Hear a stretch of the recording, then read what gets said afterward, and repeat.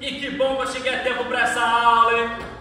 Orgulhoso de você, filhão! Até você, pai! Realmente, eu não mereço! O povo dessa casa está ficando muito doido! Ai, ai, ai, toma vergonha, vem Patrícia, toma juízo! Foi muito importante para nossas crianças.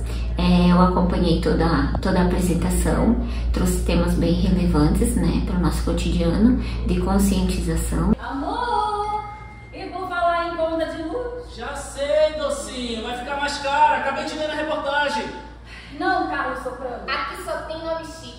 Fica quieta, Yasmin Patrícia. Ficamos muito lisonjeados com o assunto, porque a gente pensa que esse tipo de atividade lúdica, os estudantes captam melhor a mensagem do que ficar em sala de aula só repassando o conteúdo. Pouco é, pouco nada, olha, vem Patrícia, eu tô de olho na senhorita, percebeu? A quando se trata de aprender as coisas. Faz um bom e longo tempo que não me mostra o rendimento no colégio. Eu tô aqui pensando com os meus botões. Acho que vou fazer uma visitinha pros seus professores. O que você acha? E a parte que eu mais gostei do espetáculo foi a parte da música, porque é uma maneira divertida de passar conhecimento. E... Desliga! Eu não ouvi direito. Desliga! Ó, é isso aí. Ah, liga lá e se liga aqui.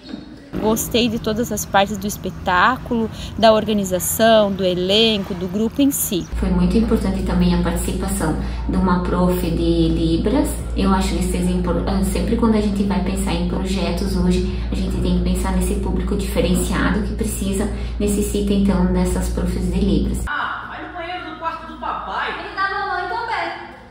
Qual é, Paulo Leonardo? Quer me infernizar? Eu tô muito, mas muito apertada. Qual é, maninha? Vai no banheiro da mamãe.